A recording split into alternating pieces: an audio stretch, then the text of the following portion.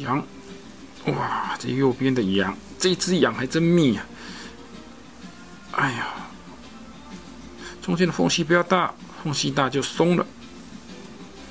好，那这边就旁边的鱼啊，就轻松多了啊。就是说，其实它写字还是有所谓的节奏，那节奏不是只有整个字的节奏，而且字里面如果万一可以分的话，它还有不同的节奏